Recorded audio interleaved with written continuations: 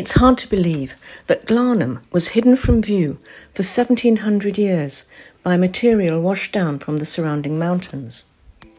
It was only in 1921 that excavations began to uncover this town, which dates back to the 6th century BC. Iron Age Celts from Liguria settled here at the foot of Mont Gaussier in the Alpilles almost 3,000 years ago. Until 1921, the only visible traces of the town were Les Antiques, two impressive Roman monuments on the Via Domitia at the entrance to the town.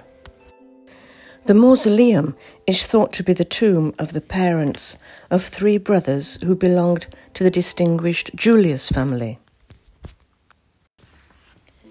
Close by is the Triumphal Arch, symbol of the might and domination of Rome. These two monuments had attracted the attention of scholars for centuries. The rest of the town laid undisturbed under a vast field of olive trees.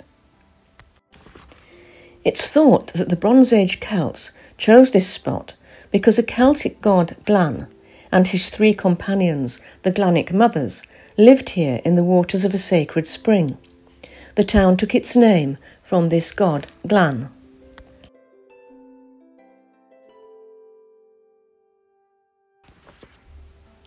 Five hundred years later, around 39 BC, Marcus Agrippa sought healing for his leg here he built the Roman temple to Valetudo in gratitude.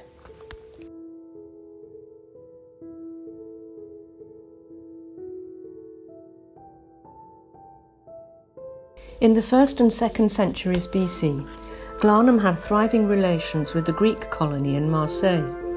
The architecture underwent strong Greek influence. This Hellenistic fountain is one of the oldest fountains discovered in France. Two houses built in typical Mediterranean style, with rooms round a central courtyard and pool, are still visible. In 125 BC, the population rose up against the Greeks, who turned to the Romans for help. Glanum was defeated and became a Roman colony under Emperor Augustus. The Romans brought their architecture and way of life. Thermal baths, forum, basilica, and temples dedicated to worship of the Empress family transformed Glanum.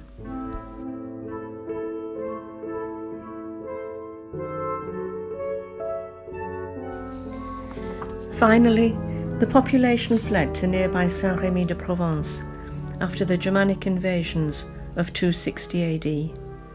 Glanum remained hidden from view for 1700 years.